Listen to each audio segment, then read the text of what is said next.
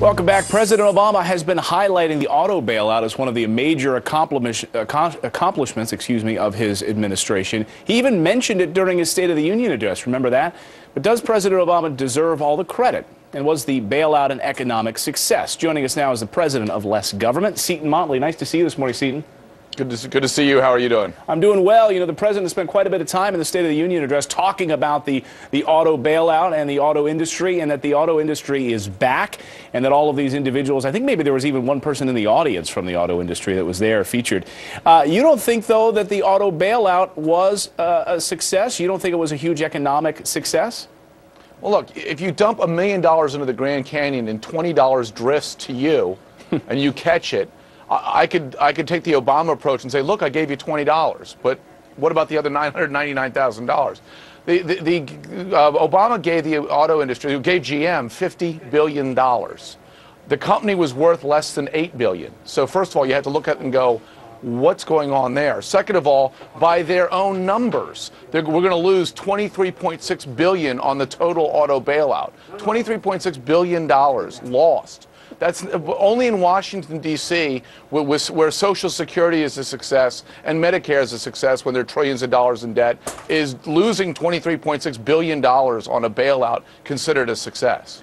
Well, can you have it both ways now? Because there's critics who are saying, look, you know, he's not giving enough, he's not giving enough uh, success or awareness to the fact that President George W. Bush was the person who actually put this in place, and the money, the 17 billion that came from George W. Bush, came first, and he added another 85 billion on top of it.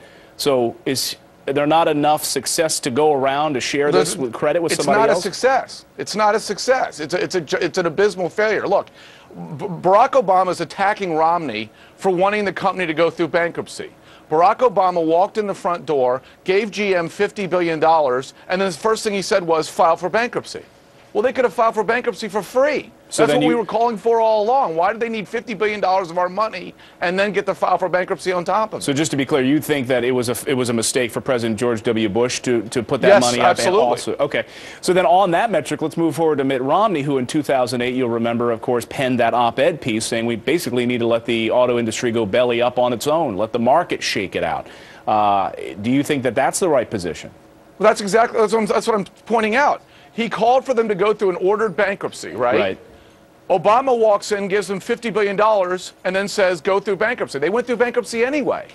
So I don't know what Obama's talking about. It, it, all, all Obama did was do what Romney suggested and give him $50 billion to do it. And then on top of that, the reason Obama did that was so he could eviscerate 200 years of bankruptcy law screw the secured bondholders and over reward uh, the United Auto Workers Union, who, who is, of course, a big constituency. Hmm.